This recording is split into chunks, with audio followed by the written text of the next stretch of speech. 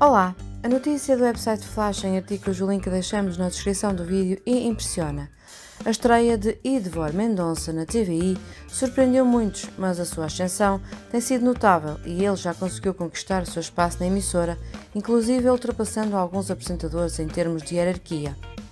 Quando foi anunciada a sua contratação em fevereiro, substituindo Santiago Lagoa, no programa Somos Portugal, houve ceticismo, mas Idvor provou ser um sucesso.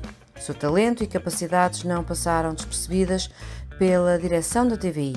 Depois de substituir Cláudio Ramos no programa 2 às 10, ao lado de Mafalda Castro, Idvor recebeu uma nova oportunidade. O comunicador, de 37 anos, foi escolhido para fazer parte do trio de apresentadores na gala Palácio das Estrelas. Com esta nova responsabilidade, Idvor Mendonça parece ter superado outros apresentadores na hierarquia da TVI. Isso inclui nomes como Ruben Rua, que co-apresenta o programa Em Família aos sábados com Maria Cerqueira Gomes, e Pedro Teixeira, encarregado do programa Vai ao Racha no final da tarde.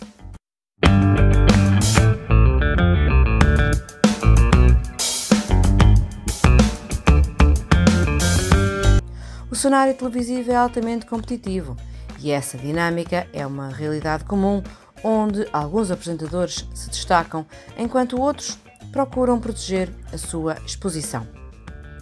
A revolução de Idvar na TVI é um exemplo claro de como os talentos emergentes podem rapidamente ganhar visibilidade e conquistar posições relevantes na indústria televisiva. A sua ascensão oferece um vislumbre do ambiente em que constante mudança dentro da mídia televisiva, onde as oportunidades e o reconhecimento podem acontecer de forma rápida e completamente imprevisível. Muito obrigada por assistir.